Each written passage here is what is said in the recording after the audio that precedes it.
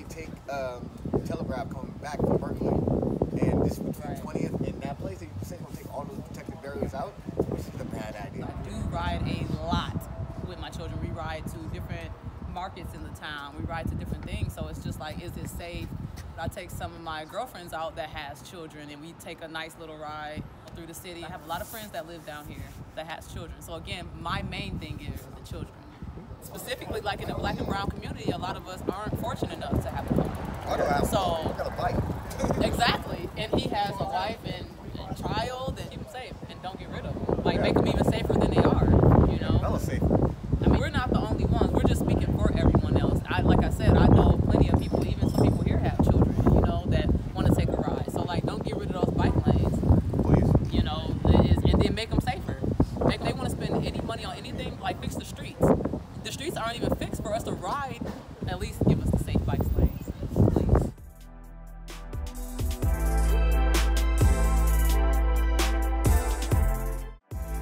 I bike Oakland almost every day.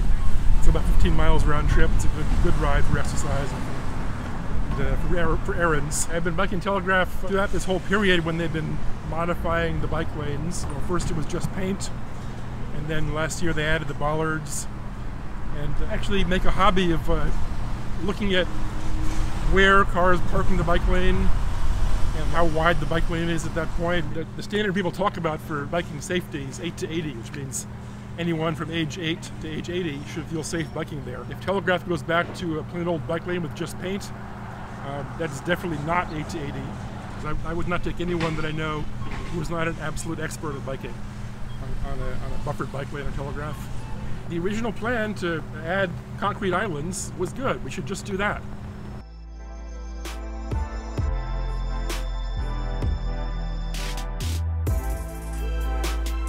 I love to ride from here to Berkeley, which means I do ride down Telegraph and ride there. I can ride with my children. I have two sons that bike ride, which is 10 and 16, and it's really, really safe for them to I'm doing a job for my wife's daughter, building her a bike, and she wants to come ride with us too. Biking is my life. My car is at home, and I'm just on my bike. I've done already 35 miles. I did errands today. I grocery shop, recreational time. People just parking wherever the hell they want to park at. It's kind of a dangerous job too.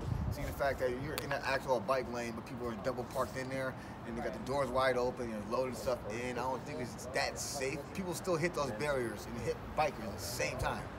And Some of the roads are ragged and really, really rough to ride on, especially with me having children. I feel like we should have more smoother, safe bike lanes. We should be able to put like barriers around where people actually can't park in them.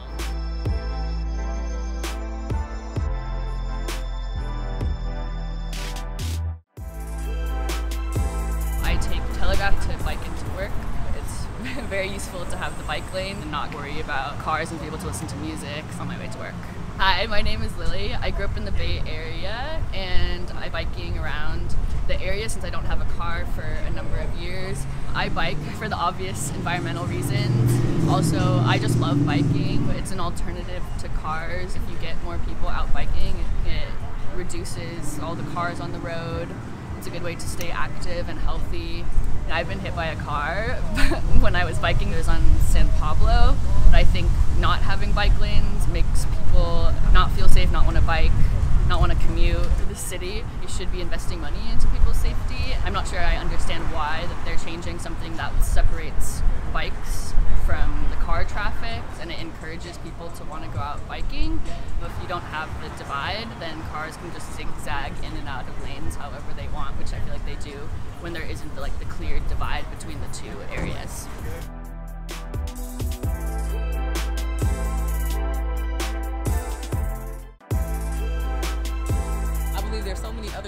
West Oakland that we should be targeting and wanting to change other than taking a bike lane out. So I think that we can house more homeless. Even some homeless people bike to where they need to be. And I feel like they're no less than us. They should be just as safe. They should be able to get around this area. If they want to worry about anything about the bike lanes, I think they should make a safer one.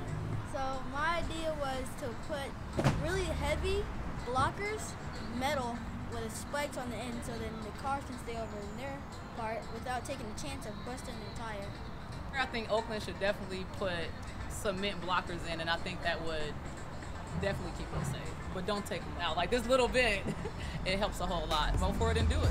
I mean, let's do it tomorrow.